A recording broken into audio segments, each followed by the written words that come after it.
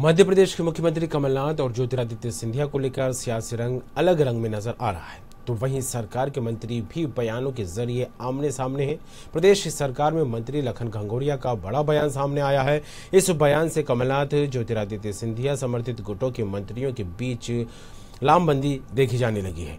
मंत्री इमरती देवी सिंधिया के पक्ष में बयान देती दिख रही हैं तो वहीं दूसरी ओर कमलनाथ खेमे से उनके पक्ष में मंत्री लखन घंगोरिया ने बयान दिया है। मंत्री घंगोरिया ने कहा, सिंधिया जी बड़े अच्छे नेता हैं, वे हमें भी प्यारे हैं, लेकिन हमारे नेता कमलनाथ हैं। विषय को कमलनाथ जी बड़ी गंभीरता से समझते हैं।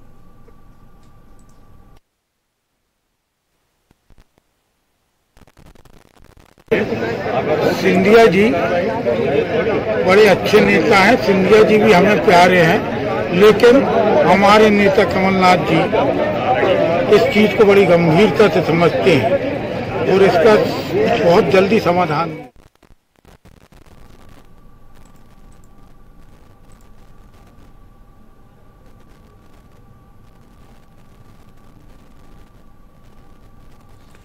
आपको बता दें ज्योतिरादित्य सिंधिया और मुख्यमंत्री कमलनाथ के बीच अनबन की खबरें निकलकर सामने आ रही हैं, जिसके चलते लगातार मध्य प्रदेश की सियासत गर्माती दिखाई दे रही है।